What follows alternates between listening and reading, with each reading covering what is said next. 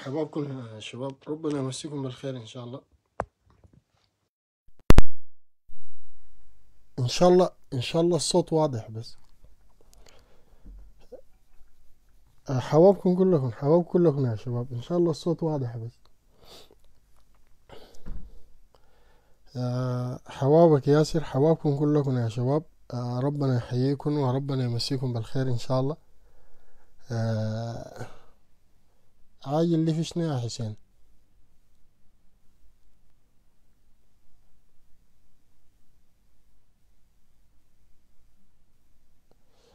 آه، ربنا يمسيكم كلكم بالخير إن شاء الله. آه، لا لا تمام إن شاء الله. أنا حقيقة هتكلم بس اللايف ده إن شاء الله مختصر كده. داير أتكلم عن نقطتين بالتحديد اللي هي آه، القضية بتاعت العام الدراسي وما صاحبها من لغط والقضية الثانية البيان بتاع ال- الحلو آه، أو رفض الحلو لما يسمى بالمجلس شركاء الفترة الانتقالية. لكن في البداية خلونا كده نسأل الله سبحانه وتعالى وأنا أسأل الله إنه أي زول بيسمع اللايف ده إنه يدعو الله سبحانه وتعالى إنه يشفي السيد الإمام الصادق المهدي آه، يبدو إنه حالته ساءت. يقال إنه في مشكلة في في الرئة عنده في التنفس ودي أخبار غير سارة يعني آه، هو طبعا لأنه رجل بلغ من الكبر عتية وكده والمرض ده دائما يعني لما يكون الزول كبير وكده بيكون عنده إشكاليات طبعا. فحسب الشيء المس- معروف إنه حالته رغم إنها كانت كويسة لكن يبدو إنه حصل له انتكاسة في في الحالة الصحية حقته. آه، أنا أسأل الله سبحانه وتعالى إنه يشفي الإمام. نختلف نتفق معه الناس يختلفوا يتفقوا معه لكن آه الإمام رجل ما سهل يعني. رجل ما سهل. آه الظروف الحالية بتاعت البلد دي آه نحن ما محتاجين نفقد فيها أي زول مهما اختلفنا يعني. حتى وين اختلفنا لكن البلد محتاجة لكبير محتاجة لزول عاقل محتاجة لزول حكيم. آه الإمام السيد الصادق المهدي تختلف تتفق معه لكن ما بتقدر تشكك في وطنيته يعني. مهما اختلفت معه مهما قلت فيه أي حاجة يظل رجل وطني يعني. هاي هو عنده مواقف عنده مواقف سلبية عنده مواقفه حول الثورة الكلام ده كله ضد التغيير داير يحافظ على الامتيازات بتاعة الأسرة ده كله قدم أولاده عمل الكلام ده كله. لكن لما تقارن الصادق المهدي بالآخرين تجده أكثر وطنية. يعني الرجل لا ما بتقدر تقدح في وطنيته يعني. ودي اللي إحنا محتاجينها يعني. هو في النهاية رجل يعني أنا زي ما قلت تختلف تتفق معه. آه، يظل رجل معلم من معالم البلد. آه، غيابه من الساحة وغيابه بيأثر يعني. البلد الآن محتاجة له. نحن الآن عندنا صراعات في الشرق في الشمال آه، في أبو دليك البلد تعج وتمج هنا وهناك. في خلافات في صراعات لكن محتاجة صوت العقل يعني. لازم البلد دي يكون فيها كبير. لازم يكون فيها زول عاقل لازم يكون فيها زول مدرك لخطورة الواقع السياسي الموجود في البلد. والصادق المهدي يدرك هذه الواقع. أنا والله أسأل الله سبحانه وتعالى وأدعو الله صادق إنه ربنا يشفيه.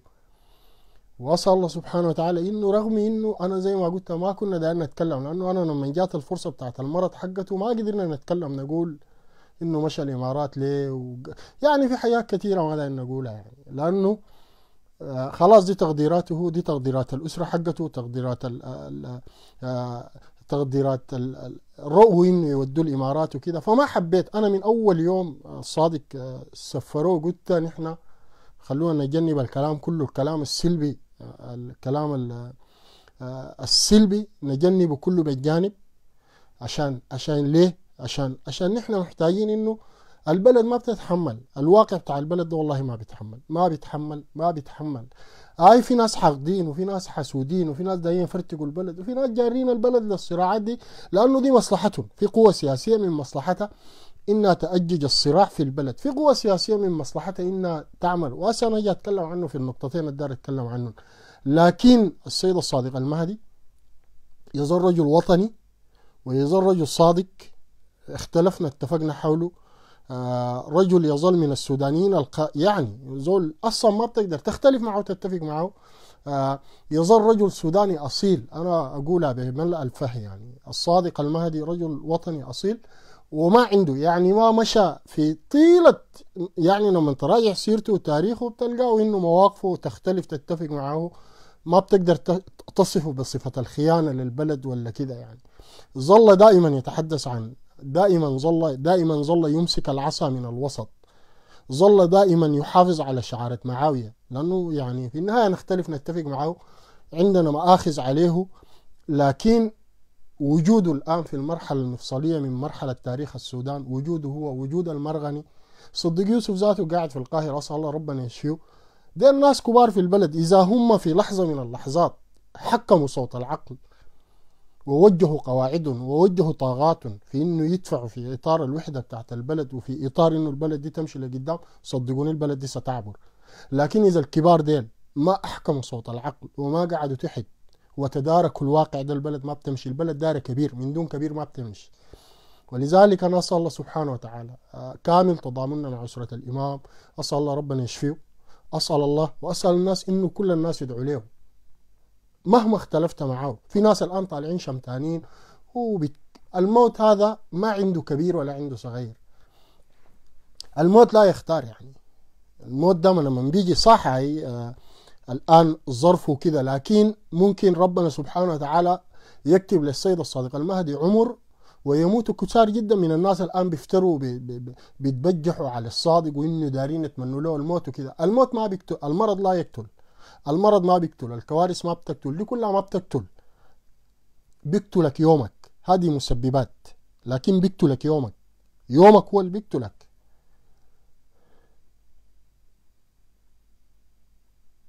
عشان كده ربنا يقول شنو؟ وما كان لنفس أن تموت إلا بإذن الله كتابا مؤجل يعني لما يجي أجلك ده أينما تكون يدرككم الموت ولو كنتم في بروج مشيدة.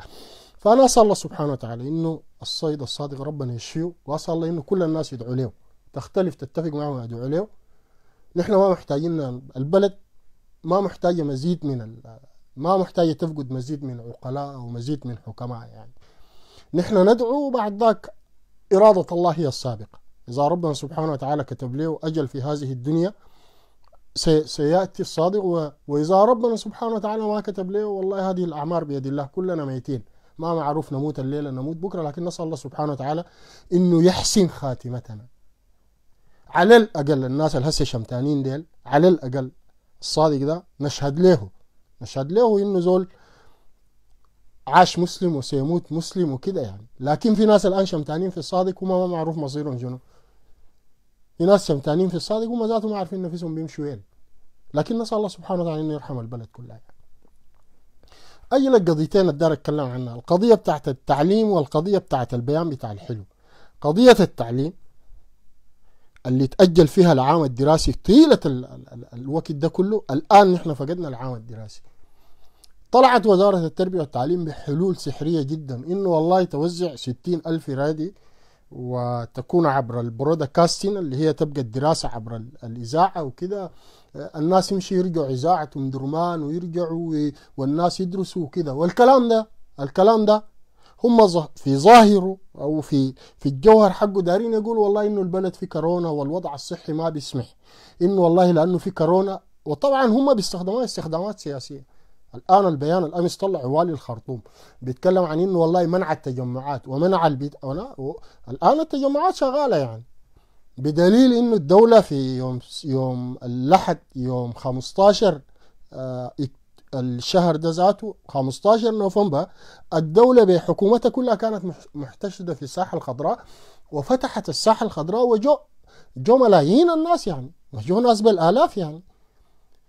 الدولة الآن أول أمس ما بعرف واحد اسمه النصر ولا من عنده حفلة في نادي ضباط الشرطة يعني ما كان احتفال الدولة فاتحة يعني. الآن الصفوف بتاعت البنزين والصفوف القضية هي ما قضية كورونا. لكن هم دارين يجيروا القضية في إنه والله البلد الآن فيها كورونا ولأنه في كورونا دارين نوزع روادي ودارين هذه القضية قضية فشل. دولة فاشلة بس. الدولة الآن فاشلة لا قادرة تفتح مدرسة لا قادرة توفر كتاب لا قادرة تعمل إجلاس خليك من التعليم المجاني وخليك من الوجبة وخليك من الشعارات اللي بيعملوها دي. الليلة حكومة جاء في القرن الواحد وعشرين تقول لي أنا داير أوزع روادي للناس. أن نمشي معاكم بالروادي هتشتغل بشنو الروادي؟ سؤال بس أنا سؤالكم يعني. سؤال قلنا خلاص الناس كل زول مشى جاب راديو ولا الدولة. خلينا ما سألنا الدولة. الرادي ده الهسه أنتوا دايرين تقربوه الطلبة ده؟ هل الرادي ده يعني لو افتكرنا إنك إنت ماشي إنت ما ماشي لأنه القضية قضية كورونا.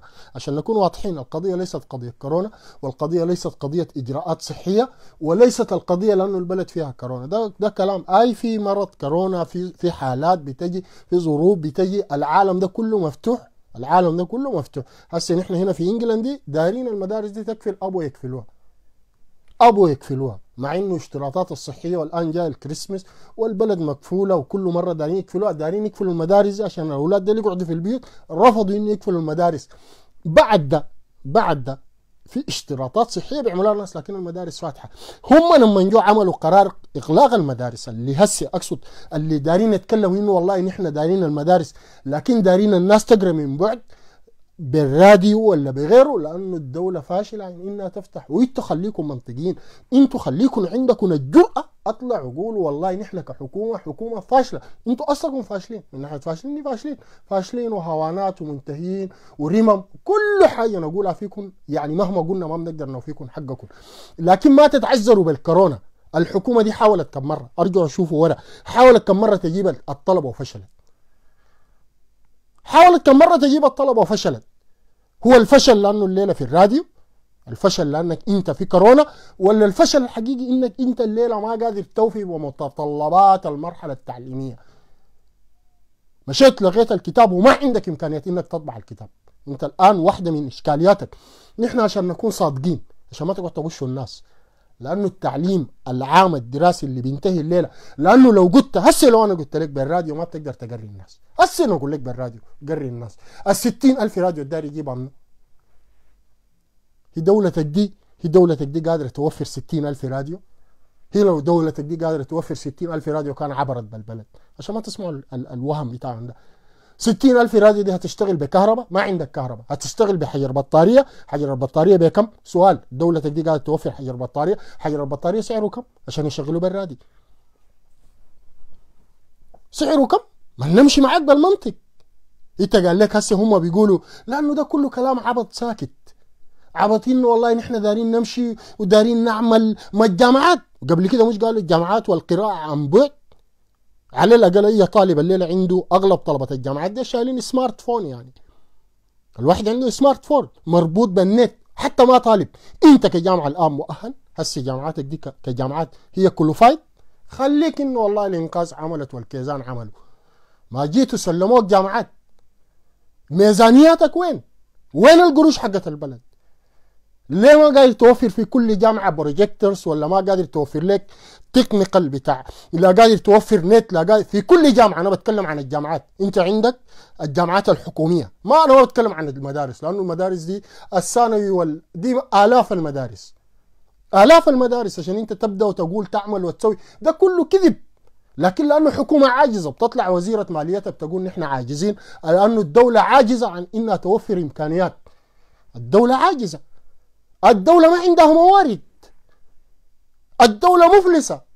الدولة السودانية دولة مفلسة. دولة لا تملك. طلعت قوى الحرية والتغيير الليلة قالت إنه البرنامج بتاع الموازنة سيفقر الشعب والشعب منتظراه سنين عجاف. يعني أنتم متخيلين إنه قوى الحرية والتغيير الآن اللي بتبكي إنه بتبكي والآن بتستخدم الحلو. كويس؟ أنا أتكلم عنها بعدين. هذه الحكومة هي عاجزة إنها بتبشرك بسنين عجاف. يعني أنا دار أسألكم هل في سنين عجاف أكثر من الشهادة الشارع السوداني الآن؟ يعني في كارثة أكثر من الشاهد الشارع السوداني الآن؟ في كارثة أكثر من إنه الشارع السوداني الليلة لا لاقي رغيف لا لاقي موية لا لاقي كهرباء. الليلة الليلة دارفور دي عن بكرة أبيها في سبع أيام لا شافت كهرباء ولا شافت التندر بتاع انه وقت أنا قلت لك التليفون بتاع الموبايل عشان تشحنه ب 300 جنيه بيضحك. ده, ده ما واقع. ما هي في الدولة بتاعت هوانات دولة وزيرة ماليتها هبة ودولة رئيس حكومتها عبد الله حمدوك ليه ما يحصل؟ انت الدولة قال لنا حاكمنا الدولة انت قال لك الدولة دي انت قال لك فيها رجال دولة؟ ما فيها رجال دولة. دولة الليلة عاجزة عن كل شيء.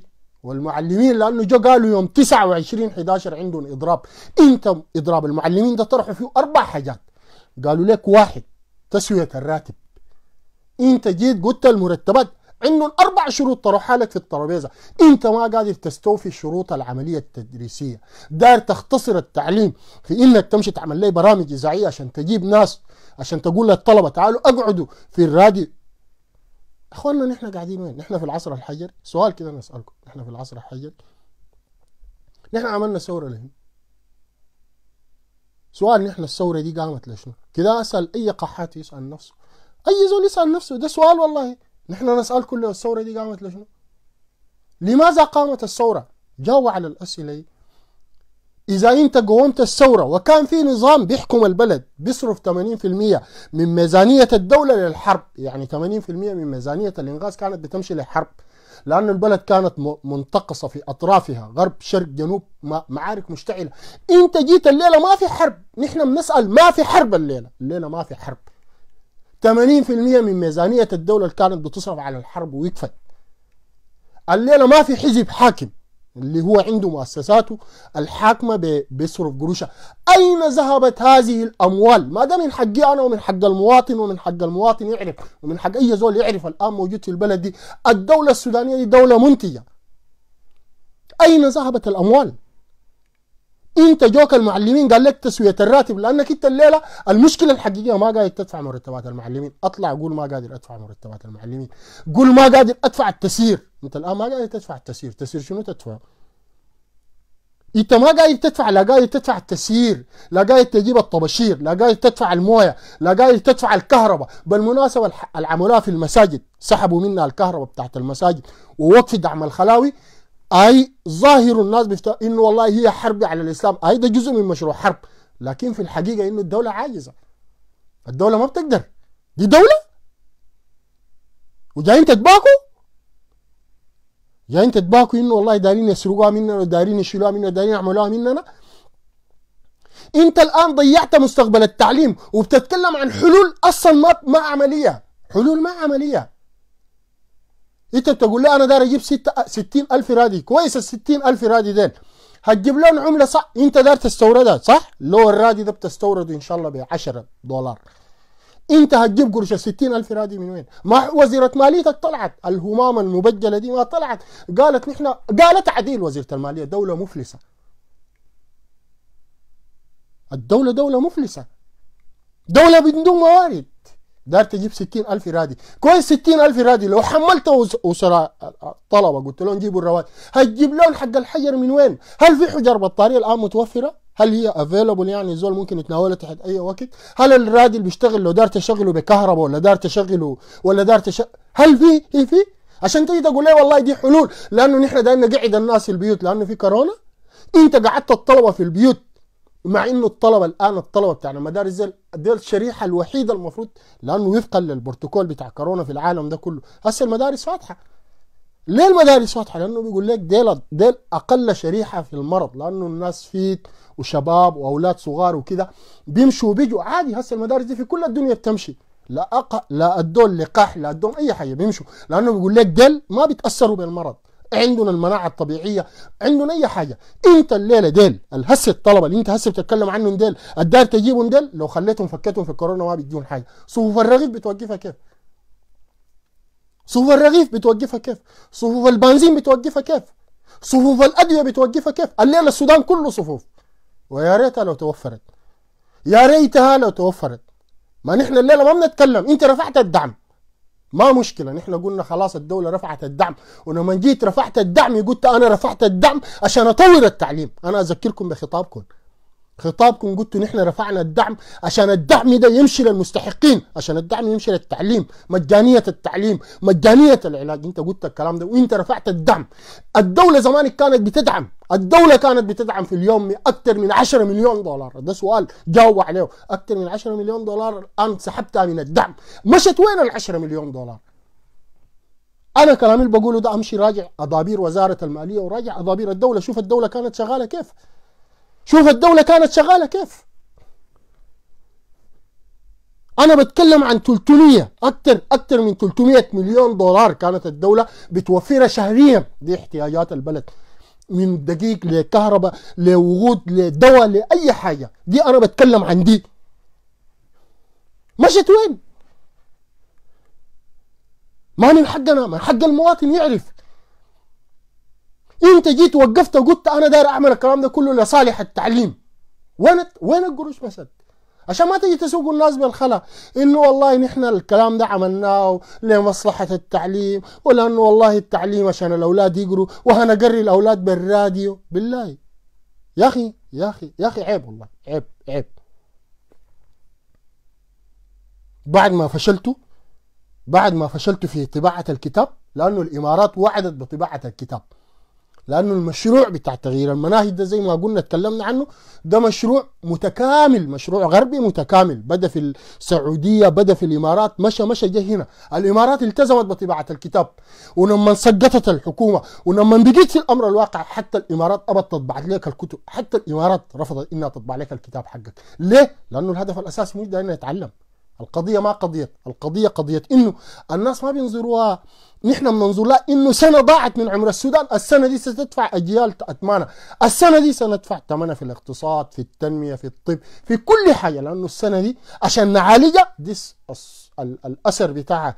السلبي السلبي السلبي ده أثر ممتد. لما مشيت تطبع الكتاب ما طبعوا عليك الكتاب. الليلة والله أنا واحدة من الأشياء اللي أحزنتني جدا. من الأشياء اللي أحزنتني جدا إنه في تغريدة أو في أو في بوست لافي من الصباح بيتكلم عن قانون الأسرة. يمكن كلكم شفتوه. بيتكلم إنه القانون المعدل الجديد بتاع الأسرة إنه ما في حاجة اسمها جريمة شرف.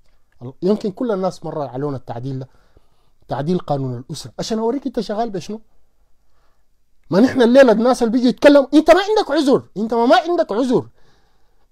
إنت لو عندك عذر الليلة دولتك دي شغالة وفقا لاليات ووفقا للصلاحيات والدولتك دي شغالة عشان تشتغل بها. هو المواطن معلش الدولة شغالة قال لك في حاجة لا يوجد شيء اسمه قانون الشرف. قال لك يعني تستطيع الزوجة يا أخي ده كلام. عليك الله ده هسه كلام بيتكتب. هسه الكلام ده أنا أقدر أقوله في اللايف هسه الكلام بتاع المادة ده اللي غيروه في القانون ده. إنتوا هسه قريتوه كلكم الليلة. اللي أنتوا قريتوه هسه الليلة ده. هسه الكلام ده والله ما أقدر أقوله أنا. هو مكتوب قدامي لكن ما قادر أقوله. ما قادر أقوله. لأنه ما مستساق. أنا ما قادر أستسيغه عشان أقوله. ده ده التعديل الآن شغال في القانون. أنس يتكلم عن قانون الطفل. أنس يتكلموا عن شنو؟ يتكلموا عن الدين يتكلموا عن المساجد يتكلموا عن دي كلها أنس. لكن ما في زول ليه الكلام ده بتم؟ الكلام ده بتم لأنه هؤلاء هوانات وعملاء. وزير التربية والتعليم شايل شايل شايل كورته. شايل الكورة حقته. مش السفارة الهولندية مش السفارة البريطانية. وزير التربية والتعليم داير ورق لطباعة الكتاب السوداني. داير ورق. مشى لما لفة سفارة وحيدة أدته 30 ألف دولار. الرجل جاته عزة نفس. قال أنا 30 ألف دولار ما دايرة. شحاد وكمان قليل الأدب. شحاد ماشي يشحت داير له 30 ألف دولار عشان يطبع بها الكتاب. لأنه أنت ما شغال في دي. أنت شغال الليلة بتحرر في قوانين الأسرة أنت الآن شغال تفكك أنت الآن شغال يفرقون بين المرء وزوجه. ما يهود ذاته. القرآن ما بيتكلم عنكم أنتوا. مش الله قال ويتعلمون منه ما يفرقون به بين المرء وزوجه؟ ما الشيء اللي عملته التعديل في قانون الأسرة. بين العلاقة بين الرجل ومرته. الكلام اللي أنا هسه ما قادر ما قادر أقوله ده. الكلام اللي ما بيطلع ما قادر أقوله أنا. ما قادر أقوله ده. ده ما تفريق بين الرجل وزوجته. ده ما دعوة للفساد في البلد. ما دعوة للفجور في البلد. ما دعوة إنك إنك تدعو الناس كلهن. كلهن. والله ما قادر أقرأ. ما قادر أقرأ. نفسيا ما قادر أقرأ. ما قادر نفسيا ما قادر أقرأ لكن بتلقوها قاعدة في في الفيسبوك لافه ديل الآن شغالين شغالين في الكلام ده؟ لأنه ما شغالة الدولة ما شغالة لأنه الدولة الدولة ما شغالة. التعليم ليه بيتكلم عن التعليم؟ لأنه ما دارين يعلموك. ما دارين يعلموك. إنت هسه السعودية دي فيها تعليم؟ هسه الإمارات فيها تعليم بسألكم بالله فيها تعليم؟ لما الإمارات تجي تتكفل تقول لك أنا دار أطبع الكتاب. التعليم في السعودية بيخرج شنو؟ سؤال بيخرج شنو؟ أنا ما داير أسألكم بس التعليم في السعودية بيخرج شنو؟ والتعليم في الإمارات بيخرج شنو؟ التعليم في الخليج ده كله بيخرج شنو؟ ما ما عندهم إمكانيات ممكن يجعلوا بلدهم من أحسن أنواع التعليم. كلمني قول لي السعودية بتخرج شنو؟ خرجت مهندسين صنعوا دبابة خرجت مهندسين صنعوا صنعوا طيارة. خرجت دكاترة عملوا لقاحات عملوا خرجت شنو؟ ما تعليم أجوف.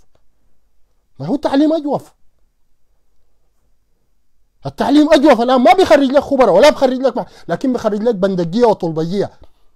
الواحد يجيبوه في مسابقة ولا في برنامج؟ والله الخليجيين لما يجيبوهم في مسابقة بتاعت معلومات عامة انت تخجل انك تحضر البرنامج حقهم. لأنه خواء طلعوه خواء. خل... طلعوه الناس ما عندهم قرون لكن قرون قرايه خواء. زي قرايه حمدوك دكتورة حمدوك دي الخبير الاقتصادي. نفس تبك الاصل ليه؟ لأنه ما دارين جيل يتخرج. ما دارين جيل واعي. ما دارين الناس يتخرجوا مؤمنين بقيمهم. ما دارين شباب يطلع متعلم بقيمه. لأنه دارين يفرغوك. دارين يفرغوك معناك. دارين يطلعوك بندجي. دارين يطلعوك أجيال لا تعرف معنى للحرية ولا تعرف معنى للعدالة ولا تعرف معنى. ده الآن الشيء اللي بيعملوا فيه. وزيرك شايل ماشي يشحت ما أنتوا قولوا نحن فشلنا في طباعة الكتاب المدرسي. قولوا نحن فشلنا في إجلاس الطلب. قولوا نحن فشلنا في إننا نوفر حقوق ومستحقات التعليم. عشان كده دايما نقري الأولاد بالراديو. هي عملوا شنو المدارس ليه تقريهم بالراديو؟ انت الهسه قاعد ده ما من حقك. أنتوا ديل مش لما جيتوا قلتوا التعليم ده انتهى وجامعه الخرطوم والكيزان دمروا التعليم وحق الطلبة. الدولة من حق الطلبة الأولاد ديل من حقهم ده حق الدولة عليهم. عشان بعدين لما نجي نقول لهم نحاسبكم عشان الدولة دي لما نيجي يبنوها الدولة عندها حق. إذا الدولة ما ادتنا الحق ما تطالبهم بالحقوق. الدولة حقوق وواجبات. ده حق الشباب ديل حق الأولاد ديل. يتعلموا. يتعلموا الروضة. مجان ويتعلموا الأساس مجان ومفروض يتعلموا الثانوي مجان لو أنت أصلا بتتكلم عن شعارات الدولة الآن جاي انت تقول لي يا أخي نحن دايما نمشي نجيب روادي عشان نوزع الروادي على الناس والناس يقعدوا والطل... ليه؟ أنت بتعرف قعاد الطلبة في البيوت ده بيخسر الاقتصاد كم؟ أنت بتعرف الكلام ده؟ أنتوا عارفين إنك أنت لما تقول المدارس والطلبة يقعدوا في البيوت يدروا أنت عارف ده بيخسر الاقتصاد كم؟ لأنه ده بي ده, بي ده بينتهي من العجلة بت... أنتوا ما تفهموا الكلام ده. الكلام ده يدرسوه كله كيف؟ ولا يفهموه كله كيف؟ لكن خليتونا مسخرة. خليتونا مسخره مسخرة بين الشعوب. خليتونا مسخرة يا أخي. يا أخي خ... يا أخي يا أخي نحن في القرن نحن في القرن ال21 الآن. الناس في المريخ الآن. أنا الآن الناس بيستخدموا ما بعرف آه بيقول لك شنو تقنية ما بعرف ثلاثية الأبعاد وما يا أخي يا أخي حرام عليكم. حرام عليكم. الشيء اللي بتعملوا فيه في التعليم ده. والشيء اللي بيسووا فيه ده. لأنه فشلت في مواجهة حق المعلمين. لا مرتبات لا التسوية حقتهم بتاعت عيد الضحية.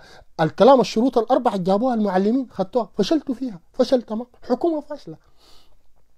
عشان كده فشلكم ده. يا أخي أقروا بيه يا أخي يا يا أخوانا أرحموا البلد دي. انت زول فشلت خلاص. انت زول جابوك وجيت عندك برنامج فشلت يا أخي. لقيت الدولة دي أكبر منك. ولقيت إنه البلد دي ما بتقدر تعمل فيها حاجة. كو يا أخي خلاص قدم استقالتك وامشي. ما شرط البلد تمشي منها أنت بيجوها الكيزان. بيجوها ناس وطنيين. بيجوها ناس عندهم وطنية. بيجوها ناس عندهم حب لها. بيجوها ناس دايرين ينموها. بيجوها ناس عندهم فكر. بيجوها ناس عندهم عندهم رؤية يعني عندهم رؤية عشان يمشوا البلد. الليلة زعلانين. زعلانين قحتي كلها زعلانة. بيتكلموا عن شنو؟ النقطة الثانية قضية مجلس شركاء الفترة الانتقالية. طبعا المجلس ده عمل عمل لهم مشكلة كبيرة جدا. الحلو طلع اضطر يطلع بيان. أنا أقرأ لكم بيان الحلو هسه. الحلو طبعا لأنه لأنه الحلو لازم لازم لازم لازم ينقذ شركائه. كويس؟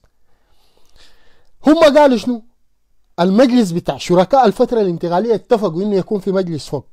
المجلس ده بيشكلوه العسكر والمد... ومجلس السيادة بيجي خمسة أظن من العسكر خمسة ما بعرف من مجلس الوزراء قحط ترشح 12 بعدين يرشحوا اثنين من هنا. هم ما اتفقوا قالوا بين 21 ل 25 لكن في مجلس. المجلس ده اتفقوا عليه في اتفاق جوبا إنه يكون في مجلس فوق سموه مجلس شركاء الفترة الانتقالية. الليلة داقين جرس قالوا والله المجلس ده سيؤدي إلى سيطرة العسكر سيطرة كاملة على المشهد. ليه؟ لأنه المجلس ده قالوا هيقلب النسب. زمان كانت قحطي عندها نسبة سبعة وستين في المية في تاخدها هي في المجلس بتاع التشريع الجاي. شكلت الحكومة منفردة. بسط السيطرة في البلد. أقصت الناس الشركاء في الثورة. أقصت, أقصت الشباب اللي كانوا طالعين في الشارع ده كانوا بيشوفوه إنجاز. يعني أنت قاعد تتخيل إنه قحتي لما عملت الوثيقة الدستورية سرقت بها الثورة أدت نفيسة 67% وأدت نفيسة إنها الممثل الشرعي للثورة مع إنه قحتي دي ما هي سقطت الحكومة برا أقل لا خليك قحط. الشباب اللي كانوا في الشارع الشباب اللي كانوا في الشارع ديل الثوار سقطوا الحكومة دي هم لما أدوهم 67% وقالوا لنا المجلس التشريعي تشكلوا أنتوا وال 33% بتاعت المجلس يتم تشاوركم فيها. وشكلوا الحكومة كلها. وجو غشوا الناس قالوا للناس والله مجلس السيادة ده مجلس شرفي. مش مجلس شرفي هم عارفين إنه ما مجلس شرفي. لكن هم مجلس السيادة يخلوا للعسكر ويدوا الدولة للعسكر هم يكونوا قاعدين في مجلس الوزراء يمارسوا صلاحيات الدارين يمارسوها. هم يبقوا شرطة وبوليس يقمعوا الصوت الآخر والعسكر يمرر لهم. يمرر لهم الحاجات دي. وقتها كانت ما يعني هسه الوثيقة الدستورية اللي أتذكر 67% يا قحاته كانت شرعية. والليلة مجلس اللي هو اسمه مجلس شركاء الفترة الانتقالية بقى ما شرعي؟ أنتوا ما تبطلوا الاستهبال حقكم ده؟ أنتوا لأنكم لقيتوا نفسكم الليلة أنتوا جيتوا لقيتوا نفسكم إنه المجلس ده بيسحب صلاحيات وقال المجلس ده بدي الصلاحيات للعسكر. بالله. هو كده سؤال أنا هسه أسألكم. هو هسه البلد دي شنو ما عند العسكر كده سؤال بس. خلي جوبا دي. ما أنتوا عشان ما تعلقوا جوبا شماعة. ما تعملوا جبريل ومني وبتاع شماعة. ما تعلقوا دي شماعة. كده لحد لحد هسه ديل ما خشوا الحكومة. من يوم 11 أبريل سقط النظام لحد ما شكلت حكومتكم في أبريل وجات قبلها الوثيقة الدستورية. كده أنا أسألكم سؤال ورونا. العسكر كانوا ما مسيطرين على شنو؟ عشان ما تسوقوا النظم الخلا اللجنة الصحية بتاعت كورونا ماسكها الفريق جابر.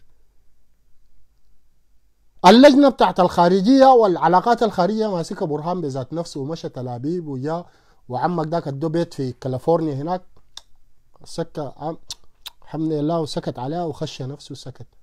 اللجنة الاقتصادية ماسكة سعادة الفريق. حمدان دقلو حفظه الله في حله وترحاله. الخبير الاقتصادي والخبير الأممي وخبير الأزمات الاقتصادية. الفريق حمدان دقلو حفظه الله في حله وترحاله ده خبير اللجنة الاقتصادية. ما بعرف الاتصالات وشركات الاتصالات كلها عند الكلام ده سواه منه كده أنا داير اسالكم سؤال الناس اللي هسه قاعدين يقولوا والله دي سيطرة الجيش. هو الجيش ده ما كان يعني سؤال الجيش ما كان مسيطر؟ المشى عمل اتفاق. انتبه منه. المشى عمل التطبيع منه. أنتوا هسه مش قلتوا ضد التطبيع؟ العمل التطبيع منه. سؤال العمل التطبيع منه. سؤال. هسه وزير الإعلام ده سألوه قال والله أنا ما عندي دراية إنه في وفد إسرائيلي قاعد في الخرطوم. أنت ما عارف إنه وفد إسرائيلي قاعد في الخرطوم أنت ما عارف إنه في وفد إسرائيلي جا الخرطوم؟ ما عارف يعني بالله ما عارف. وزير الإعلام ما عارف. مش طلعوا قالوا والله لم نشاور؟ تاور تاور ده تاور ولا هو ذاته يصغروه يقولوا كيف؟ تاور دي لو داينا نصغرها نقول شنو؟ ما بتصغر صح ولا بتصغر؟ تاور ده ما طلع في مؤتمر صحفي. السيد رئيس جمهورية السودان الديمقراطية المتحدة. مش طلع قال أنا عضو مجلس السيادة لم أشاور؟ أنت قاعدين يشاوروك العسكر العسكر ما ماسكين أي حاجة في البلد. هي العسكر مرتباتك قاعد يدوك لها العسكر. حمايتي ده ربنا يكتر خيره ومناسباتكم الاجتماعية. مناسباتكم الاجتماعية كتر خيره. هسه في واحد في واحد كده اشتروا له بيت. اشتروا له بيت في شارع بي بي بي كوان في شارع في الخرطوم اسمه بي كوان تعرفوا شارع بي كوان صح؟ الخرطوم اتنين. في بي كوان ده اشتروا لواحد. هسه قاعد. أنا ما بذكر اسمه لكن بجي يوم بذكر اسمه. اشتروا له بيت في خرطوم اثنين 230 متر مربع ب 200 ألف دولار. وادوا 200 ألف دولار. هسه قاعد يبني فيها عمارة. بس خلي العمارة تتم. بعد ما العمارة تتم دار تجيب لها عفش من وين؟ دار تجيب لها عفش من الصين ولا دار تجيب لها عفش من مصر؟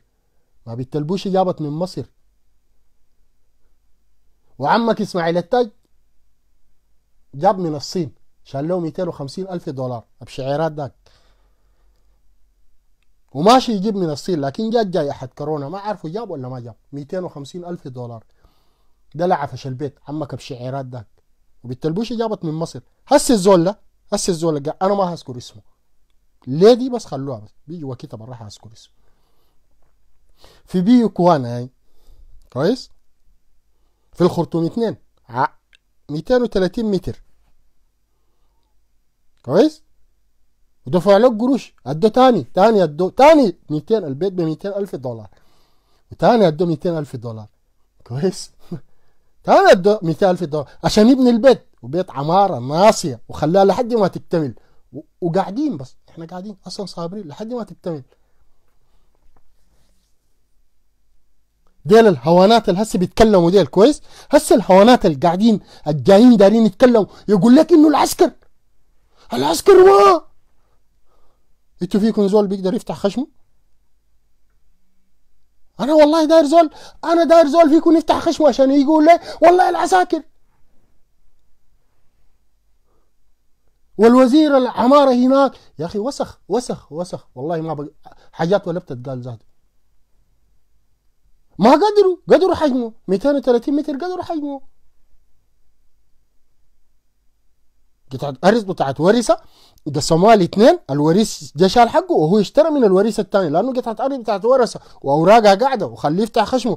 والله أنا زي ما قلت لكم أنا قاعد بس نحن قاعدين بس. لكن أصبروا عشان نوريك كميه الفساد قاعد في البلد دي. يجي يقول لك العساكر عساكر ما آآ آآ ما بعرف. الوثيقة دي ستسحب الصلاحيات مش سحبت الصلاحيات من العسكر. الوثيقة دي انتهى أنهت تقول أنهت امتيازاتك انت. عشان عشان عشان نخط الكلام في علبه لا لا ما اردول اردول ما عنده علاقة بال داك براو داك حقه براو. الوسي... الوثيقة الهسه الاتفاق بتاع جوبا ده جيت الحركات دي أنهت سطوتك أنت كزول مدني أو أنهت سطوتك أنت كقحاتي. لكن ما تقول العساكر ما تقول عساكر أصلا ما تقول عساكر ما تقول لي والله العساكر ما تجي تقول لي والله لأنه العساكر سيسيطروا على المشهد. عساكر مسيطرين على المشهد. مما تم توقيع الوثيقة دي أنتوا قلتوا المجلس شرفي والمجلس ما شرفي. عشان ما تقعد عشان ما تقعد تغشوا الناس. لكن الحلو بيقول الكلام ده شوف الحلو قال شنو. الحلو بعد اعتراضاته دي كلها قال آه الحيلولة دي حياة ظريفة قال. قال الاتفاق ده أو المجلس ده قال سيحول دون وصول الحركة الشعبية لتحرير السودان شمال. للمشاركة في السلطة. بإبعادها عن المشهد نهائيا حتى لا تقوم بأي دور في المستقبل وفي موقفها التفاوضي وبرنامجها السياسي. ده كلام الحلو الليلة. لأنه الحلو أزرع من أزرع الشيوعيين شغال لهم. الحلو الحلو الليلة طلع بيان قال دي الوثيقة أو أو المجلس شركاء الفترة الانتقالية قال مجلس شركاء الفترة الانتقالية دي قال القصد منه إبعاد الحركة الشعبية في الشمال وإخراجها من المشهد تماما ولأنه الحركة الشعبية بعد ذاك جاب كلام رنان قفل الطريق أمام التفاوض. مع الحركة الشعبية تحت جوبا شمال وجذور المشكلة السودانية وإلحاقها فقط باتفاق السلام. جوبا قال يلحقوه والحلو رافض إنه يلحقوه.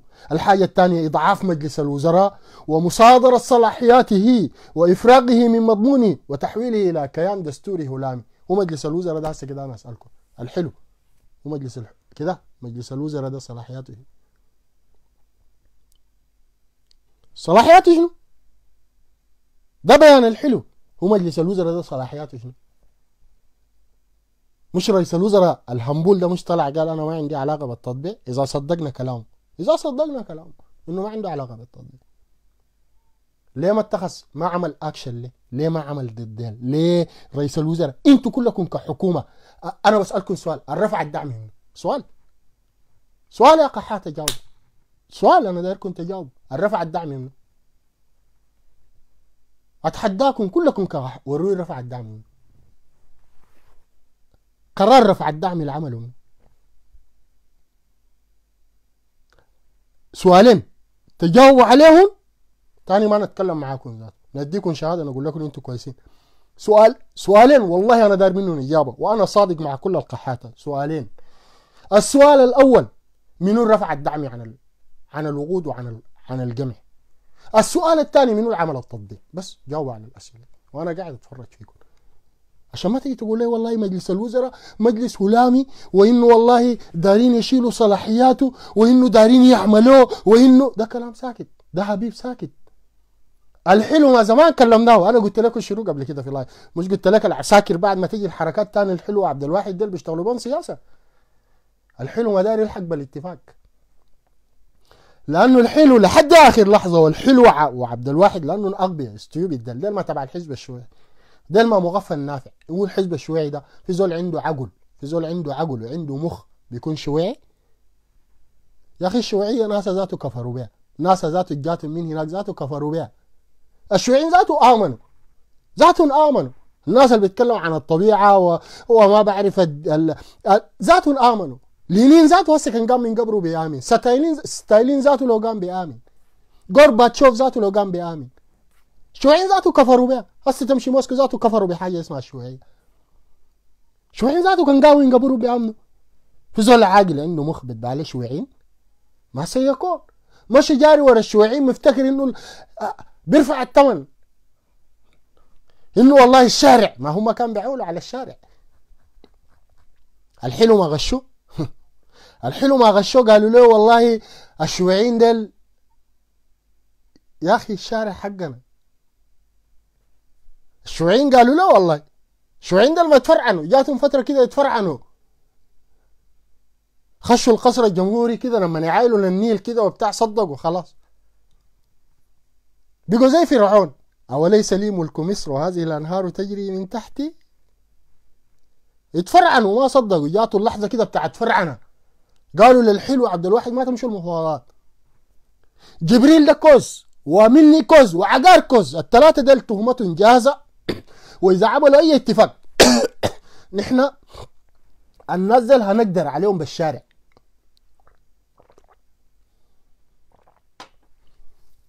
ده الاتفاق كان كده. إنه أنتوا تخليكم في موقفكم نحن الأمور مظبطة والشغلة دي ماشية كويس. والعساكر دي نحن ما اغبياء ما أنت زول لما تكون ما عندك مخ ابعدهم من قضية ملف السلام. باعتبار إنه الكرت اللي قالوا الخطيب إنه سنتحالف مع الحلو وبتاع. الجماعة هسه يا دوب عرفوا. الحلو يا دوب عرف إنه قالوا والله المسألة دي دارين يقطعوا الطريق علي. أو يلحقوني باتفاق جوبا. والله يلحقوك باتفاق جوبا وتجي تقعد في الصف اللي ورا هناك. ما لأنك استيوبد لأنك استيوبد البلد دي ما بتنتظر. البلد ما بتنتظر. الآن كل النواحي اللي بيعملوها. سرقوا مننا شيء ما دستوري المجلس ما دستوري اللي هو ما بعرف مجلس شركاء الفترة الانتقالية مجلس غير دستوري. منو قال لك ما دستوري؟ منو؟ منو قال لك ما دستوري؟ هي اتفاق هي هي وثيقتك انت دستورية؟ سؤال أنا داير أسألكم. وثيقتكم دستورية؟ سؤال وزير وثيقتكم دي دستورية. أنا بس بسألكم سؤال. وثيقتكم دستورية؟ الوثيقه اللي عملتوها دي دستورية؟ حكومتكم القاعدة دي حكومة بتاع الثورة؟ بها وثيقة بتتكلم انت. جيبوا وثيقتكم دي كلها. الوثيقة فيها وزير دولة؟ سؤال بسألكم. هسه وزير الخارجية ده شرعي؟ سؤال. تجيب له عمارة ب 230 ألف دولار مقدم بتاع الست شهور. في الشهر الواحد قاعد في جاردن سيتي تجيب له عمارة أربع طوابق ب 35 ألف دولار. ده وزير ما شرعي ذاته. جيب جيبوا الوثيقة الدستورية. يا وثيقه دستورية تتكلم عن عن وزير دولة. يا وثيقه جيبوا وثيقة دستورية. يا وثيقه دستورية تتكلم إنه في نائب إنه الفريق حمدان دقلو حفظه الله في حل وترحاله نائب رئيس مجلس السيادة. يا وثيقه بتتكلم عن الكلام ده. يا وثيقه أنتوا مش قاعدين تتكلموا عن وثيقتكم هاتوا وثيقة. خلاص كلام فاضي معاكم. أنتوا الآن حسيتوا نفسكم إنكم اتبليتوا. إنه في واقع جديد. تصفير العداد. سعادة الفريق الكومرت مني. حفظه الله في حل وترحال قال لهم نصفر العداد.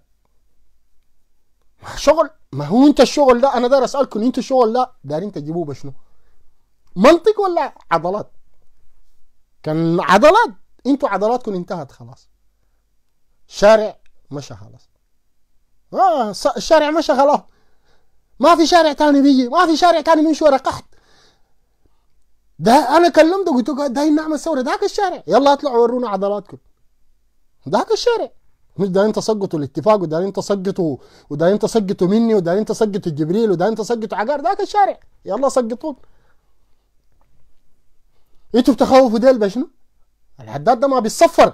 ال... ال... الاتفاقية دي كلها قامت بالمعادلة دي. قامت بمعادلة إنه نحن نملك الشارع إنه نحن أصحاب القوة ونحن اللي فاوضنا العسكر ونحن اللي نشكل الحكومة ونحن عندنا 67% والزارعنا غير الله يجي يقلعنا. نفس كلام نافع. نفس كلام نافع لكن تغير نافع وجبد النافع جو هؤلاء الحيوانات لكن نافع نشهد له إنه كان رجل. نشهد لنافع إنه كان رجل. ولا الليلة ثابت راجل في مواقفه يعني. انزلوا الرجال منازلهم. نافع كان يقول لك هسه قاعد لا بتقدر تعين له في وش ولا بتقدر تحاكمه ولا بتقدر تفتح له ملف. ذاك امشي افتح له ملفات حاكمه. كويس؟ ده منطقكم اللي قامت به الثورة. المنطق اللي اتفرض به حكومتكم دي الاقسيتوا فيه كل النشط. هسه أحمد الضيب وشارع بيتحاكم وآخرين خرجوا كده تاهوا في الأرض. في أفريقيا في آسيا. ناس تاهت في الأرض. الناس اللي عملوا الثورة. ناس معمر اللي كان بيهتف. أول زول طلع في الثورة. دكتور الجزولي اللي اتسجن وسجنته الانغاز الآن قاعد في السجن. افتريتوا على الناس. افتريتوا. نحن الزارعنا غير الله يجي يقلعنا. مش أنت قلت الزارعنا غير الله يجي يقلعنا؟ هسه جاك مني وجبريل جاك مني وجاك جبريل وجاك مالك عقار وديل كيزان. أه. ديل كيزان. ديل كيزان وجايين يقلعوك. مش أنت قلت ديل كيزان؟ هسه أنت ما تخجل تقول مني كوز هسه ما تخجل تقول مني شارك الحكومة؟ هسه ما تخجل تقول جبريل كوز عشان ما تغشوا الناس. أنا الكلام ده بقول لأنه ده دي الواقع بتاع البلد. الناس دي فرضوا نفسهم وجو قعدوا قعدوا لأنه هم افتكروا نفسهم انه هم مالكين الشارع والبلد حقتنا والزارعنا غير الله يجي يقلعنا. ومشوا عملوا ديل مع العساكر بحماية إماراتية وبحماية السفير البريطاني اللي قاعد هسه. الليلة جوك ديل بنفس المنطق. الليلة اتفاق. السلام تتفق تختلف معه. مشوا العساكر لأنه العساكر بيشتغلوا سياسة ووقعوا اتفاق سلام. الآن اتفاق السلام ده بين العسكر والحركات المسلحة. ترضى ما ترضى دي حاجة تخصك. مش قلت الزارع غير الله يجي يقلعك؟ يا أخي ديك يا أنتوا ده ما عجبكم؟ غيروا الحكومة. بس أنا أقول عليك بالواضح. خلوا البكي. إنه والله عقار ما بعرف عشان مكاسب الحركة ولأنه أنا عملوا لي وما بعرف تاني قال شنو. كده خلينا نشوف تاني عقار قال شنو. مصادرة صلاحيات المجلس التشريعي وفي مجلس تشريعي أنتوا بتغشوا على منو؟ مين اللي غيب المجلس؟ أنا داير أسألكم اللي غيب المجلس التشريعي منو؟ انت قال لك العساكر كانوا رافضين يجي مجلس تشريعي؟ العساكر ما هم اللي رفضوا المجلس التشريعي، لكن قحط رفضت المجلس التشريعي، ليه؟ لأنه بيعمل لها هدك لما يجي مجلس تشريعي ويكون قاعد قحتي عمرها ما تكلمت عن المجلس التشريعي ولا ما بيتكلم عن المجلس التشريعي لأنه بيعمل لهم هدك ما هو المجلس التشريعي ده؟ الناس لأنه مشوا قالوا المجلس التشريعي ما تجيبوا قحط. المجلس يجي من السوار يجي من الناس الحارسين يجي من كده. قحت هي الفرملت المجلس. ليه فرملت المجلس؟ لأنه خايفة إنه والآن بتستخدم الصلاحيات. لأنه الآن الصلاحيات وين؟ الآن المجلس التشريعي وين؟ الآن المجلس التشريعي أصبح بين مجلس الوزراء ومجلس السيادة. يجوا يقعدوا في المجلس. الشي الداروا العسكر بيمرروا له العسكر والشي الداروا قحت يمرروا له قحت. بس اتفاق. أنتوا قحاته دارين شنو؟ دارين تعينوا ناسكم عينوا ناسكم في البترول في الطاقة في كل حاجة أكلتوا قرش شيلوها العساكر دارين شنو؟ العساكر ادون سيادة البلد ما تجنبوهم ما تحاسبوهم ما تحاكمون ما دي الشراكة بيناتكم غيبتوا المحكمة الدستورية ليه ما في محكمة دستورية في البلد؟ منو الحل المحكمه الدستورية في البلد؟ أنتوا بتغشوا على منو؟ مجلس تشريعي بتاع شنو؟ الليلة لما حسيت إنه المجلس التشريعي الحركات المسلحة هتشيل 25% من نسبة ال 67% هتشيل الحركات المسلحة 25% لما حسيت انكم أنتوا الليلة كمكون بتاع قحط فقدتوا الباور حقكم. جايين تبكوا في الشارع؟ وذاته يديكم لا ليش؟ سؤال. إنتوا هسه يدوكم لا ليش؟ سؤال أنا بسألكم. إنتوا هسه دايين يدوكم المجلس التشريعي ودايين يدوكم الصلاحيات ودايين يدوكم الكلام ده كله يدوكم له ليش؟ سؤال بس. عشان تعملوا بشنو سؤال بس أنا بسألكم. دايين تعملوا بشنو سلموا عشان تسووا بشنو فهم كله شنو؟ قدرات كله شنو؟ ناس عطالة وناس ما عندكم موضوع. كويس؟ والبكل بيعمل فيه عبد العزيز. حلو. والبكل بتعمل فيه وإنه والله يتكون الآن اتفاقية السلام. هذه اتفاقية نافذة. أنا بالنسبة لي كمواطن سوداني هذه الحركات المسلحة مني جبريل عقار إذا البلد دي فيها تقسيم بتاع سلطة ولا محاصصة ولا ناس يقعدوا يحكموا في البلد زندية يقعدوا هم لأنه ناس عندهم قضية. ولأنه ناس عندهم برنامج. ولأنه وقف الحرب مقدم عليه كل شيء. أنت جيت قلت الستة أشهر الأولى للسلام؟ خلاص نحن دايما نوقف الحرب. مني وجبريل قال ما عندنا أي فهم. بس لأنه جايين من لأنه حاربتنا الانغاز 30 سنة. خلاص نقطة سطر جديد. بس ما دارين منهم أي حاجة ثانية انت دار تقعد في محلنا عشان تعمل شيء. يا أنا يا أطفية يا أنا يا أحرقة. تحرقة فين؟ ما تشوفوا أوي ما تشوفوا الجلقبه بتاع الشوين دي ذاك يا هو البلد أحرقه. ابقوا رجال أهو أحرقه. ابقوا رجال ذاك الشارع. ما تشوف جوطتن دي؟ ما تشوف فرفرتن دي؟ ما قاعدين في البر؟ خليها تسخن شوية كده. خليها حبة تسخن. والله كلهم بيزوقوا. بب بب بب بب. بيركب طيارته بيتخارج. البرك ده كلام بتاع جرايد ساكت. وحرامية. أنتوا هسه دارين لكم أنتوا دارين لكم حاجة؟ أنتوا ما بحاكمكم نادر العبيد بس. هسه نادر العبيد اداهم ثلاثة يوم. موندي الليلة بكرة. اداهم ثلاثة يوم. نادر عبيد الزول بتاع زيرو فساد داك قال لك إذا اختلف اللصان ظهر المسوق نادر عبيد اداهم ثلاثة يوم. وحلف قال بعد ثلاثة يوم اللي هي مدته بتنتهي بكرة. قال لهم أنا هوريكم أي قرش أخذتوه بكم. بالتفصيل الممل قروشكم وعملتوا شنو؟ هسه وجه صالح بيرجف من فوق لتحت كده. لأنه كلهم فاسدين ولأنه كلهم حرامية. أنتوا ما تهددوا. بل حلو حقكم ما تهددوا. الدولة السودانية ما بتتهدد. شوفوا أكلمكم. ما في زول بيهدد البلد دي. بس ما تهددوا. قاعد لك في جبل كو ولا عندك طيارتين ولا عندك 15 قال لك تعال السلام ما في زول رفضك. قال لك تعال السلام. مشيت النت براك قلت دار علمانيه وعلمانيه دي على اليمين الا تطبقها في بيت أمك. اكلمكم عديل يا حلو والشويعيين والصعاليك هسه قانونكم بتاع الأسرة وقانون طبقوه في بيوت أهلكم. لأنكم لا عندكم دين ولا عندكم أخلاق. خلوا نساوينكم يعملوا الدارين يعملوا؟ ما في مشكلة. بناتكم يعملوا الدارين يعملوا؟ لكن والله وعزة الله وجلاله ما بيطبق في الشعب السوداني. أنتوا خيابه من أصلكم وربنا أصلا كتب عليكم الخيابه ولا بتشبهوا السودانيين ولا بتشبهوا عراف السودانيين. أي أفعلوا ما تشاء. خلوا نسواكم يسووا الدارين يسووا وخلوا أولادكم يطلعوا زي ما دارين يطلعوا. دي حاجة تخصكم أنتوا لكن لكن كبلد كبلد ما بتفرض عليها حاجة غصبا عنا عشان نكلمكم. ما بتفرضوا علينا.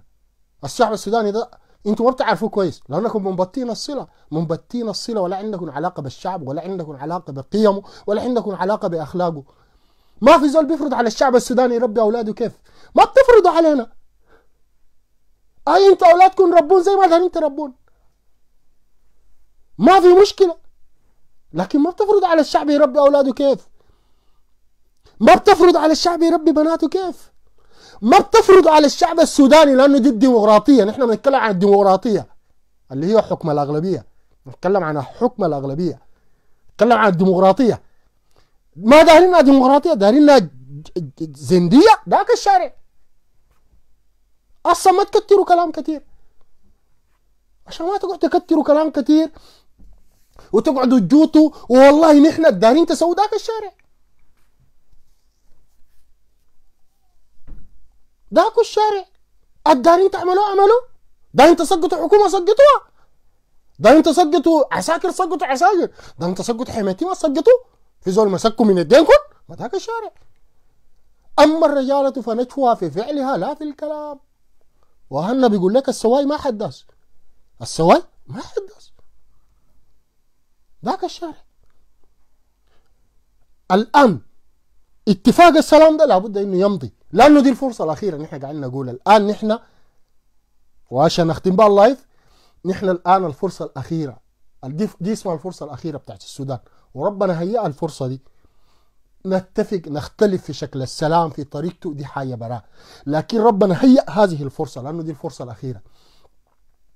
الفرصه الأخيرة! يا إما تتعقلوا. والفرصة الأخيرة دي تجي حكومة تتجاوز كل الصراعات. ويجي رئيس وزراء يتجاوز كل الصراعات. ورئيس وزراء خارج منظومة قحط. مين هسه عشان تكونوا عارفين؟ يجي حمدوك نحن ضده. يجي يجي يجي الدقير نحن ضده. يجي إبراهيم الشيخ نحن ضده. أي زول فاسد نحن ضده. أي زول يجي من داخل المنظومة دي بكرة تقول والله في إطار التسويات نحن ضده. نحن داير رئيس وزراء يقدم برنامج اقتصادي عشان يمرق البلد دي من ازمتها الاقتصادية. دي الب... ده البيارتي حقنا الآن.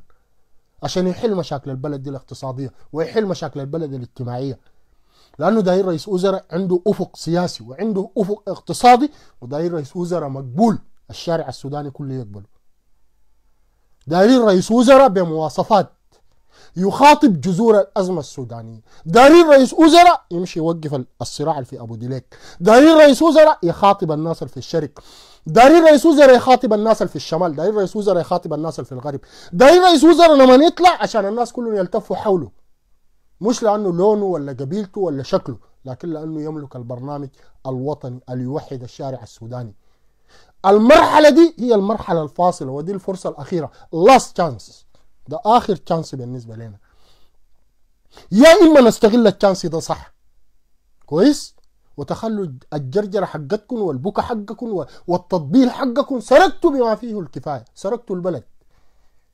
قعدتوا سنة وشوية. لو ضربنا عليكم أنتوا سارقين في البلد دي في خلال السنة وشوية سارقين ما لا يقل عن 15 مليار دولار جنيه سودان. دايرين ورقة وقلم. والله أضرب عليكم.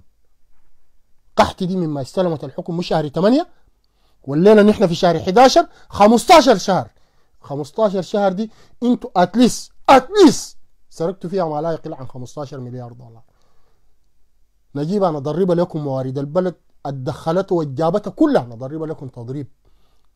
الخسارات اللي ترتبت على البلد. أكثر من كده. التكلفة بتكون أكثر من كده. أكثر من كده تكلفة البلد. 15 مليار دولار. وممكن تكون أزيد من كده.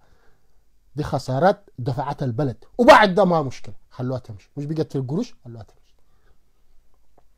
بتعوض. الأموال ستعوض. السودان ده مهما نهبوه عنده خيراته. لكن إذا إذا فقدنا الوحدة إذا فقدنا اللحمة الاجتماعية إذا فقدنا الوشاية الاجتماعية إذا فقدنا القيم بتاعتنا قيم التسامح وقيم التماسك إذا إذا فقدنا فقدنا دي الترابط اللي بيربط الناس كلهم كده. لما تجيب لوحة السودان دي تشوف الشمال والشرق والغرب والوسط التنوع ده. إذا نحن فقدنا ده ومشينا في إطار الصراع أصبح أبناء العمومة في أبو دليك بيتكاتلوا واصبحوا أبناء العمومة في الشمال بيتكاتلوا وأصبح أبناء العمومة بيتكاتلوا في الخرطوم وبيتكاتلوا في الغرب وبيتكاتلوا في الشرق إذا الناس اللي اتسهروا وتزاوجوا اصبحوا يتكاتلوا في الشرق نحن معناته مقبلين على فترة. وليه؟ وليه نحن وليه نحن نضيع البلد؟ ليه نحن نضيع البلد لمصالح الناس؟ ليه؟ السؤال ليه؟ ليه نحن نضيع مكاسب البلد دي كلها؟ ليه نحن نك... ليه نحن ليه؟ ليه نحن نضيع إنه البلد دي جاتنا فرصة؟ الآن جاتنا فرصة أخيرة. جاتنا فرصة إنه نعيد. خلاص اتعلمنا الدرس تعلمنا التجربة. انت كشيوعي ما مقبول ولا عندك رؤية ولا إسلامي تقدر تدوسه معي. لكن إذا إذا تحول الشعار أن نقول عليكم والله نقول عليكم ناس مني. وما تخلونا نركب راس ما تخلوا ما تخلونا نركب راس. عشان ما نقول بكرة كل شوية ندوس دوس. لأنه لأنه دي ما لغتنا. ما دي ما لغتنا. نحن ما دايرين نقول والله المعادلة بكرة إسلاميين ويساريين. لأنه لو بكرة قلنا المعادلة اسلاميين ويساريين السودان ده منقل فيه من أقصى يمينه لاقصى شماله. والله راجل ود مرة بيقدر تاني بيفتح خشمه ما في. ما دايرين نمشي المعادلة دي لأنه دي ما شعاراتنا ولا ده أدبنا. ما دايرين نقول والله ده دوسوه ولا ده دقوه ولا ده بلو لا قاعدين نقول التوافق الوطني. قاعدين نقول اجمعوا لحمة البلد. وحدوا القبائل.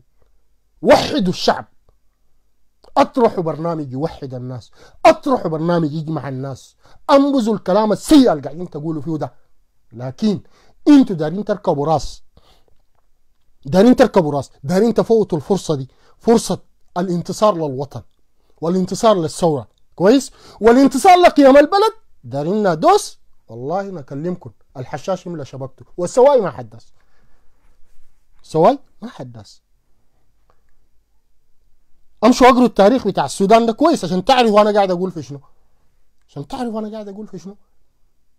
الناس ما بيتكلموا عن اللغة بتاعت اللي ليه ليه إحنا ما قاعد نتكلم عن اللغة؟ ليه؟ لأنه ده لأنه ده ده ما الهدف حقنا أنت هدفك دار تنتقم. أنت هدفك دار تسأل. وفي شنو؟ ما عارف والله. هسه يجيب لك شويعي دار تسأل لشنو؟ يعني أنت دار تسأل لشنو؟ هسه جيب شويعي جيبوا مين صدق يوسف لا أدنى شويعي انت مشكلتك مع الانقاذ ده شنو بس اسأله سؤال قول له قتلوا أمك؟ اغتصبوا أختك؟ سؤال والله مباشرة جيبوا لكم شويعي قتلوا لك منه؟ اغتصبوا لك منه؟ حرقوا لك كم؟ مني وجبريل وديل اللي قاعدين ديل؟ أي هم ما بمثلوا دارفور لكن دارفور بتتكلم عنها الآن جايين تتريقوا فيها دي ماتوا فيها أكثر من 350 ألف نفر. وبعد الناس مستعدين إنه يجلسوا للسلام. دارفور دي اتقتل فيها 350 ألف. وفي أكثر من 3 مليون لاجئ الآن بين تشاد وبين لافين في أوروبا دي. وبعد ده وبعد ده أنا بقول عليكم خلي أصوات النشاز اللي بتتكلم هنا وهنا من أولادنا ديل. بعد ده نحن كابنا دارفور وكناس جايين من الحرب والله لا نحمل دغينا لزول وجاهزين إننا نجي نقعد لأجل مصلحة البلد. مش لمصلحتنا نحن ولا لمصلحة أحزابنا. لكن لأنه نحن. نعرف انه وحدة السودان دي الثمن حقها غالي وقدمنا الثمن نحن. ما في زول زايد علينا. عشان ما تيجي تزايدوا على الناس. أنتوا كيساريين ما تزايدوا على الناس. قدمتوا شنو في البلد دي؟ نسألكم سؤال قدمتوا شنو؟ والله ما قدمتوا ولا نملة ما قدمتوها في البلد دي. نملة ما قدمتوها في البلد دي. نملة ما قدمتوها في البلد. مجزرة القيادة والله ما قدموا فيها ولا ولا قطره دم قدموا شنو فيه؟ يوم القيادة ما هربوا ومشوا خلوا. المات في القيادة دل أغلبهم أغلبهم أبناء هامش وأغلبهم أبناء إسلاميين واغلبهم أبناء الشعب البسطاء والفقراء من أبناء الشعب. تعال جيب لي قول لي قدام القيادة مات مات يساري واحد. جيبوا قول لي في القيادة دي مات فيها يساري قول لي انجرح فيها يساري واحد. ما هربوا يوم يوم القيادة لأنه كانوا عارفين إنه جايين يفضوا الاعتصام وسحبوا ناسهم كلهم وقفلوا التلفونات وجروا مشوا زاغوا. قدموا شنو؟ عشان ما تزايدوا على الناس. في الثورة دي لا قدمت فيها شهيد ولا قدمت فيها دم ولا قدمت فيها أي حاجة ومسيرة ال 30 سنة ما قدمت فيها حاجة. ما قدمت فيها شيء. عشان ما تجي تزايدوا على الناس الناس اللي هسه قاعدين دل تتفق تختلف معاهم أهلهم قاعدين في معسكرات وبعد ده جايين يقولوا نحن ما جايين ننتقم. يا أخي في رسالة أكبر من كده. زول بيجي اخوه قتلوه الشيوعيين اللي هسه رافعين شعار دايين ندوس ودايين بالله ده زول اخوه قتلوه وعنده اخوه تاني قتلوه أولاد عمه قتلوه مني ده قتلوا أقرب الناس له قتلون بالعشرات الليلة اللي جابون لو جابون بالعشرات. الليلة واحد فيه لو اديته لسه يكتب لك عشرات من أهله قتلون أنت شايفهم مرتزقة وشايفهم تجار حرب وشايفهم؟ لكن بعد ده مرتزقة وتجار حرب ده الآن بيقدموا خطاب تصالحي للأمة دي وبينكس خارطة بتاع الطريق. انت كسياسي والان بتتكلم عن السياسة وحياتك كلها قضيتها في السياسة قدمت خطاب شنو؟ قدم الفرق الناس منه انت ما سألت نفسك ليه ليه الليلة؟ تعال أنا أسألكم. وخليكم صادقين جدا. انت الليلة كقحط ليه الليلة أولاد؟ الغرب ده كلهم بيكرهوك. بكل مشاربه ليه بيكرهوك؟ ما سؤال ليه بيكرهوك؟ ليه الليلة قحط دي أولاد؟ الغرب ده بيكرهوك ليه؟ ده سؤال. انت ممكن تجاوب عليه انت الليلة كقحط ليه منبوس الشمال في الشمال منبوس. انت كقحط الليلة منبوس الشرق ليه ما سؤال. سؤال جاوبوا عليه بتقدروا تجاوبوا على السؤال ده. هي القضية قضيتك انت ما مع الإسلاميين. ولا صراعك مع الإسلاميين. انت صراعك مع الأمة دي كلها. لأنك انت خرجت عن المألوف. لأنك الآن شغال تشعل في نار الحرب. شغال تشعل في الفتن. بطلوا المزايدات. بطلوا المزايدات. لأنه لو جينا نقسم الولاء في البلد دي والتضحيات في البلد دي بتطلع صفر كبير ولا بيأهلكم إنكم مش تلقطوا كور والله حتى في الإستاد ذاته ما بأهلكم. لو جينا نقسم التضحيات حقت الناس وجبنا استاد خرطوم ولا جبناكم في استاد المريخ وقلنا زول اللي بيضحي ينزل ال center ويلعب والما بيضحي يقعد ورا الشبكة والبعديه يقعد في المدرجات. أنتوا والله ما تقعدوا. شفتوا من استاد خرطوم يمكن تقعدوا في ام درمان تقعدوا في ام درمان هناك عشان تشو... عشان تصلوا استاد خرطوم لأنكم ما قدمتوا أي تضحية في البلد دي. ما قدمتوا أي تضحية في البلد دي. لا في الاعتصام قدمت ولا في الثورة ما قدمت أي تضحية. كنت عبارة عن عملاء ومصادر بتاع جهاز ومصادر شغالين لبرا شغالين لمصالحكم. عشان كده دي الفرصة الوحيدة اللي ربنا جابها للبلد دي. إنه نحن جاتنا فرصة نقعد في الأرض تحت نوحد البلد نجيب حكومة بتاعت كفاءات حقيقية تنقلنا لفترة انتخابات ما دايرين دي دايرين تمشي في الاتجاه الثاني ادفع ثمن لكن قبل ما انت تدفع ثمن ستدفع ثمن البلد. أنا أسأل الله سبحانه وتعالى إنه يحفظ البلد. أسأل الله سبحانه وتعالى إنه يحفظ البلد. إنه يحفظ البلد. يسلمها من كل شر. دي دعواتنا بس. إنه يحفظ البلد. إنه تحصل لحظة بتاع التعقل. لحظة تعقل تعقل الناس يتعقلوا ولا ناس درمان ذاته بيقبلوا بها. صدقت في كلامك. لكن لحظة بتاع التعقل البلد دي ما بتحتمل.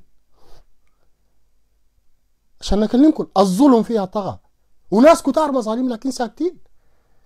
وعندنا السلاح وعندنا القوة وعندنا القدرة. ناس كتار اتظلموا. لكن ساكتين لأنه مقدمين مصلحة البلد مصلحة الوطن. في ناس ما بيفهموا اللغة دي.